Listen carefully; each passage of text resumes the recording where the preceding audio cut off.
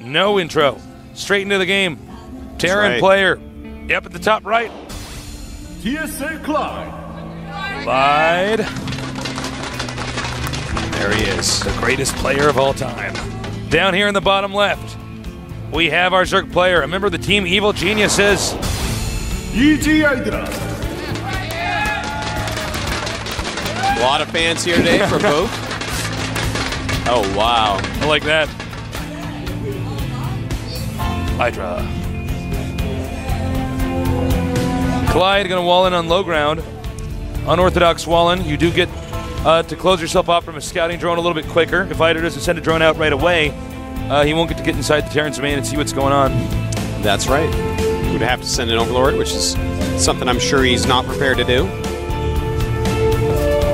He's certainly not a macro Zerg like IdrA would want to do that. Yeah, you, well, you know, you, You just never don't know. want to lose an Overlord too early. You can send one in a little bit later, but uh, one of the first ones, absolutely not. It Just It would hurt too much. You need a decent income to actually replace it quickly. Now, when you see a Terran do this, it's somewhat of a tell because you are basically saying to the Zerg, I definitely don't want you to see what's going on inside of my base. Yeah. And most of the time when we've seen Terrans do this, they do make a second barracks in their main. Yeah, it's normally a second barracks or an expansion, but almost always a second barracks, that's for sure. Now, is it going to be a second barracks? It is. One barracks, two barracks, red barracks, blue barracks. But IdrA did not go for hatchery first. nope. Uh, It still can be difficult to deal with, though. I was actually talking to IdrA before the game. His uh, mentality is, well, I went hatch first on this map the other day, so I'm going to go ahead and go pool first just in case he goes two barracks. And that has worked out perfectly. Clide thinking uh, that maybe IdrA's a little bit more one-dimensional, preparing for uh, a hatchery first build. Of course, if you hatchery first on this map, it's it normally can sup two barracks. But on this map, the natural base is so wide open all Yeah. around it. Uh, spine crawlers really don't help very much, so So, uh, it's it's dangerous on this map sometimes. so this is somewhat of a tell. IdrA probably a little bit suspicious, saying, "Wait a minute." Yeah, I think right now IdrA already pretty much gets it. He's like, okay, this is this is going to be a two barracks spell. I'm going to get my speed. I'm going to expand, and uh, my life's going to be happy. Now remember that Clide uh, and IdrA both very talented players. IdrA, uh, arguably the best non-Korean out there, and right uh, up there with Jinro, Ret, Yep. players like that. Clide, of course, the greatest human being on the planet. He actually came here on a chariot pulled by a dozen lesser nerds, That's right. none of which were allowed to look at Clide in the face, Oh no, for you fear they might the actually eyes. turn into sand, turn into a pillar of salt. You know, I heard that that actually happened. Yeah. So, we got an SCV taken out here. Very nice. Take out that SCV. Clide continues to make some Marines, but uh, also making a command center and getting double gas. So he's going to go ahead and transition into a nice economy build. Nice uh, move by Clide as well. You don't want to say, well, I started out two barracks. I might as well go with this and attack. He just transitions healthily. Yeah. And you know what's really nice about it is he showed enough Marines that IdrA was forced into a lot of Zerglings. He made 10. Normally in Zerg vs. Terran, you want to have just four Zerglings uh, around the map early on, but instead there's 10, so that is uh, three less drones that IdrA could have had. So that's a good move by Clide. Here is uh, the Overlord. IdrA is going to peek. Wants to see what he can see. A very brave Overlord. Someone call it the Magellan of Overlords.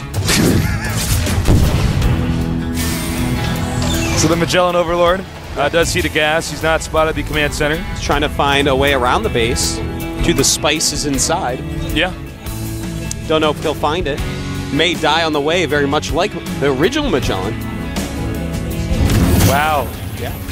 I'm halfway laughing at the look you give me when you say that, Artos. so these Zerglings are putting Clide in a little bit of a difficult situation because Clide wanted to just transition right into it, um, an ec- ec- economic game. He wanted to get his expansion up. Yeah. Uh, and IdrA is now occupying the bottom of his ramp with the Zerglings. Which means he's forced into making Hellions. Reactor to Hellions with three barracks. Now, uh, one thing that IdrA was mentioning is that if he does go for this build, he thought that Clide may, in fact, go for a Hellion, a Hellion Marauder. Uh, Oh, man. in. So that it's possible we'll see Clide do that, but he does have the command center, so it's not really all in right now. He may tech up to these units, he may use them for expanding, he may try to hit a timing push. We're just gonna have to see, Tasteless. It's hard to say. Stim on the way. Link. Okay, Hellions uh, and Marines moving out. Lings run for it. Now, IdrA is probably gonna make a ton of units now. Did he see that command center, Tasteless? Uh, yes, he yeah, knows see that there's a command center, so uh, he's not gonna probably won't overmake, but he is making some additional Zerglings right now. IdrA getting some good creep spread out on the map to try to catch some of these Hellions. It's a scary thing about Hellions Tasteless. If they get in too big of numbers, your Zerglings become pretty useless. And here they go! Spinecrawler out. Perfect timing by IdrA. Good pullback by uh, Clide here. Look at that. He's letting the Queen to do most of the damage. While the legs. Oh, that was really risky by IdrA. Ooh. Clide getting a lot of kills there. Also damaging quite a few. In the meantime, Clide making a bunch of units at home, getting stim, getting concussive shells, still making marauders. It does look like it's going to be a marauder uh, Hellion Now attack. he's uh, IdrA's getting a Spire. yeah. So uh, I- obviously that's going to be pretty good because Marauders cannot lay down on their back, so they can't fire into the air. Yes, exactly. Now, Clide does have some Marines, so this is going to be a very, very tricky attack. Oh, Clide's going to be able to deal a ton of Oh. damage with it. But IdrA may have the Mutalisks out quick enough to make Clide double think going with it. In fact, he does have five on the way. Clide hasn't left his base yet, so IdrA should be okay for now. Yeah, he's definitely committing to this all, and he did scan to kill the creep tumors. Um, so he doesn't want to be uh, surrounded at all. And okay, we have the, the Marines and Marauders moving out. Now, it, the important thing here is how many Marines are coming. Seven Marines. IdrA right now making plenty of mutas to actually take all those out. So uh, we're just going to have to see. Can Clide actually take out the hatchery at the expansion? Got to be careful.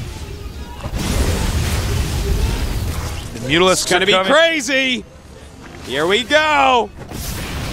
And here come the Zerglings. Oh my.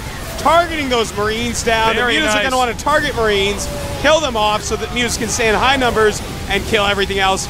Clide may be in trouble, Tasteless. This but the Hellions going for the main base. Taking out a lot of drones. How many drones can he kill? Nice. IdrA actually tries to block the uh, Hellions here. Mutalisks coming over here to try to assist. IdrA knows that if he tries to run from these, uh, he's more likely to lose more than if he just lets them stay still. Mutalisks uh, out, have deflected that attack.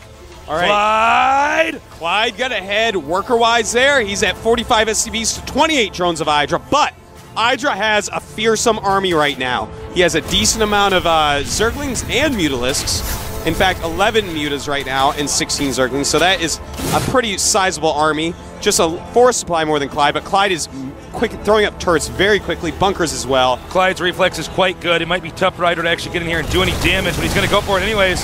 Going for these Marines, which should not run into the bunker right away. And uh, right. now actually denies the turret as well. And it takes out the turret, gonna want to take out these Marines. He wants to keep his mutas near the production facilities Yep. and just kill as many Marines as they pop as possible. Look at this, taking out a bunch of Marauders. Huge right there by IdrA, and now Clide is in some trouble, Tasteless. He managed to penetrate his base. He's now inside here, um, attacking these barracks.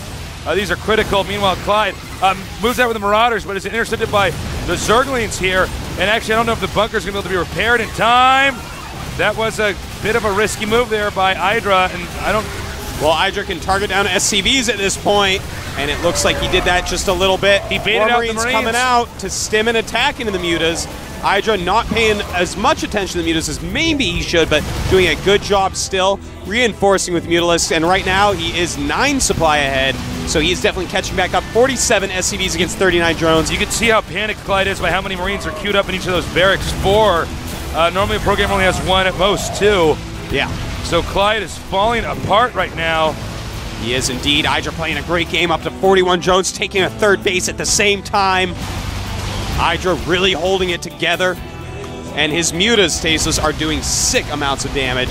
If he kills Yeah. off these barracks, I do not think that anyone in the world could take IdrA out from that position. IdrA's looking really good. Clide, the greatest player of all time, is now uh, under some serious fire. oh, he kills a barracks with five Marines in it. Ouch. And it looks like that may happen again, Tasteless. I don't think Clide can come I back think from yeah, this. Clide is actually completely falling apart. you know, here's the thing: he's losing all his production facilities, and as you lose your production facilities, uh, Oh, I mean, nice. IdrA can just drone up. He Yeah. doesn't have to make as many units. His economy is going to get absolutely unstoppable, out of control. It's probably why we don't see any Zerglings with this attack. The rest of the minerals are being spent on drones. absolutely. You know what he did? Actually, do a great force force stim. Yeah, with no medevacs out. Yep. Beautiful move. And of course, you only have to have the Marines stim twice before when the Mutalisks engage them, all the Marines melt. This barracks will Oh go down my. as well. Clide wanting to play against IdrA in the GSL, perhaps having second thoughts about that. Well, he got his wish, Tasteless, but IdrA is showing that he is no pushover. An amazing macro Zerg. He is just so far ahead right now. And it looks like we do have a nice little upgrade coming on. That is going to be a plus one range to missile turrets. A decent choice right now for Clide. Uh, nice job. Takes out the Marauder. Nice work. Just moving these Marines back and forth. Look, there's no way you can get through the middle of Clide's base. IdrA is basically occupying that. Two Marauders moving out right now to do a little bit of damage. Meanwhile, IdrA getting speed Banelings. That's right. He's up to 18 meters, by the way. As soon as you hit around 15, 16 meters, you start to feel a little bit invincible. Oh, wow. And the turret's not quite covering this location in the back. Yeah, this is just, I mean, this is so hard, tasteless. Uh, you know, Clide is a great Terran. I don't think any Terran in the world, again, can come back in this situation against a IdrA. just macro is just too spot on. Look at this, taking out a bunch of Marines. This is pretty brutal. Clide in a lot of trouble as he loses barracks after barracks after barracks, just trying to get back on his feet in the series. Clide making an armory over here and a tech lab at the upper left corner of the map. IdrA, by the way, getting the fourth hatch. We don't have a shot of it, but it is important to note. Yeah, just getting that And I macro hatch up. finally IdrA is going to be forced out of there. Yeah, it, the uh, returns for his Mutas harassment have fallen, but I mean, he did more than he ever needed to. It's 81 supply against 121. IdrA up 50% on the supply applied. I mean, look at this. Morphing Banelings. He has so many units right now. 64 drones to the 60 SCVs. So Clide has done a good job keeping his SCV count up, but he just is never going to have the army to take IdrA out. I just I can't imagine if IdrA just makes units and hatcheries. It's just I, I am not envious of Clide. Is No, this I'm- is very difficult for best to recover from. Mm.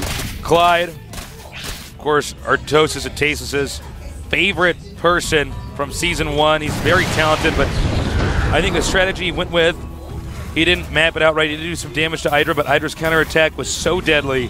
You know, IdrA just got those mutas out at a perfect timing. IdrA going back, tries to take out some missile turrets here. She'd be like, wow, those missile turrets are shooting me from far away. Why is that? It's not the most Yeah, we- common upgrade. We don't really see, I was about to say, we don't really see uh, the missile turret upgrade, uh, the range upgrade as much. So I think IdrA might have been caught off guard there seeing that. Now, uh, well, no, I don't really have a whole lot to add. I mean, look, IdrA is going to take that gold base. He's got a lot of Banelings, a lot of Zerglings. Clide looks like he's getting ready to take his third. Already has the command center ready. This is a bold move by Clide. But here comes IdrA's army. He's basically saying, if I don't get the gold, I'm going to lose. Well, I have something to tell you, Tasteless. He's I not have- getting the gold, and he's going to lose. I have something to tell Clide is he's going to be uh, playing in our next Here game. come the here. There's- Banelings! There's no way that you can really recover from an attack like this when you're this far behind. IdrA already taking the gold. Zooming in here, look at him, Banelings. Rolling, rolling, rolling. wow. Everything is dead. IdrA crushing through one of the best Terrans in the world, giving us Zerg players out there some hope, Tasteless. This was unbelievable. GG. Wow. Unbelievable. IdrA is so strong right now. That Uh, kid just got cracked. He just got cracked. He got cracked, man. I have a nice warm Yeah, cup, cracking a cup of crack, five. crack of cola. No, I got nothing. The people on the internet are much funnier and cleverer than I am. IdrA has got to be feeling good about that. Winning the first game. Now the pressure's on Fly. Do you know what this means, Tasteless? Tell me. Do you actually understand what No. has just occurred? Yes, I You're going to see IdrA play against his StarCraft 1 hero, Nada. That's going to be pretty Nada is probably the best macro Terran versus Zerg player that we've actually seen. Yeah. To be So perfectly we have honest. this wicked macro player against this other wicked macro player. They're going to be going like this. That's what they're going to be doing, Artosis. good. This That. is going to be good. I can't wait. We are going to have a brief little break. Um, but wow, talk about an amazing game. And you know Oh, wait, what, Clide? no. Clide Actually, he's against NSP Genius. IdrA won and Nada won. Darn it. Wait, no. Oh, That's true. I'm sorry. Everyone's like, no, Artosis, that's not happening. I'm like, so dumb. I just got so excited. It's all right. We're gonna have then I'm next. used to the old format. we're gonna, we're gonna have um, another game coming up here in just a little bit. We're uh, Nada versus Clide, and um, That should be pretty that good. should be pretty excellent. Clide's TVT is quite stellar. Nada, of course, already showing us how strong he is today. By the way, Clide's defense was pretty good in that game. Uh, he was hanging on there for quite a while. Yeah, he hung on in places that most Terrans would have died. Yep. But uh, realistically, IdrA's mutas popped out at just the right time. it was perfect. And yeah, it was. Normally, a lot of Zergs in that situation, they see this many Hellions, they might go for Roaches. If he went Roaches, Clide would have won the game. Yeah. That attack would have just killed IdrA. But IdrA went for the Spire. He put it in a place that wasn't as scannable. I don't think Clide knew that there were going to be mutas. Or No, he definitely didn't know there were going to be mutas. But because Trying to but think what if happened he was scouted he the got spire. so far out um, that he- there's no way you could turn back. You can't just run away. no, not So for he has mutas. to commit and try to just kill as much as he can. Got a good amount of drones, Yeah. but again, the Muta counterattack was too much. And uh, Clide gets a loss. IdrA gets a win. A very exciting group so far, Tasteless. So we're again we're gonna have a little break here when our Korean commentators are ready. So uh, and it's gonna be a 10 minute, 10-minute break. break. So you might want to clean up your desktop, okay? You know, same song we sang, coming over and over. Gonna get warm, picking up now, getting more like a game. And it feels real like we learn to fake the fame. And there's never more than one truth, but you can't always get your better half. Look out! Gonna get war again, gonna get wrong again, gone again with the same song.